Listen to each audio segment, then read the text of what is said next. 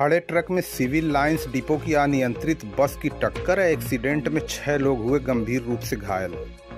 आजमगढ़ जौनपुर मार्ग पर गंभीरपुर थाना क्षेत्र के सद्दो पट्टी सिंगड़ा गाँव के निकट सोमवार की रात लगभग ढाई बजे खड़े ट्रक में सिविल लाइंस डिपो की एक अनियंत्रित बस टकरा गई, जिससे बस में सवार छह लोग गंभीर रूप से घायल हो गए। रास्ते से गुजर रहे राहगीरों द्वारा एक्सीडेंट की सूचना गंभीरपुर पुलिस और एंबुलेंस को दी गई।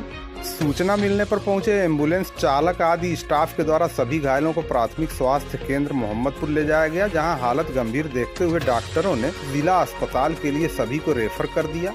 आपको बता दें, सोमवार की रात लगभग ढाई बजे सिविल लाइंस डिपो की बस जौनपुर की तरफ़ से आ रही थी। बस जैसे ही गंभीरपुर थाना क्षेत्र के सद्दो पट्टी सिंघड़ा के पास पहुँची गया नियंत्रित होकर खड़े ट्रक में पीछे से टकरा गई।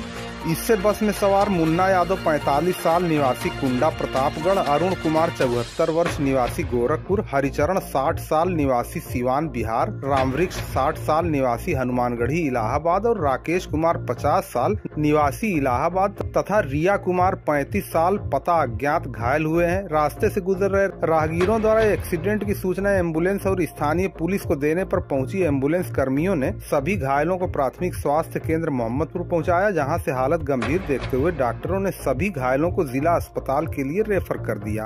आपको बता दें ये दुर्घटना आजमगढ़ जौनपुर मार्ग पर गंभीरपुर थाना क्षेत्र के सड्डो पट्टी सिंघड़ा गाँव के निकट सोमवार की रात ढाई बजे के लगभग हुई है, जिसमें खड़े ट्रक में सिविल लाइंस डिपो की एक अनियंत्रित बस टकरा गई। इसमें सभी छह लोग गंभीर रूप से घायल हुए हैं। रास्ते से गुजर रहे राहगीरों द्वारा एक्सीडेंट की सूचना गंभीरपुर पुलिस और एंबुलेंस को दी गई थी। सूचना मिलने के बाद पहुँचे एंबुलेंस कर्मियों ने सभी घायलों को प्राथमिक स्वास्थ्य केंद्र मोहम्मदपुर पहुँचाया, जहाँ से हालत गंभीर देखते हुए डॉक्टरों ने सभी को जिला अस्पताल के लिए रेफर कर दिया है।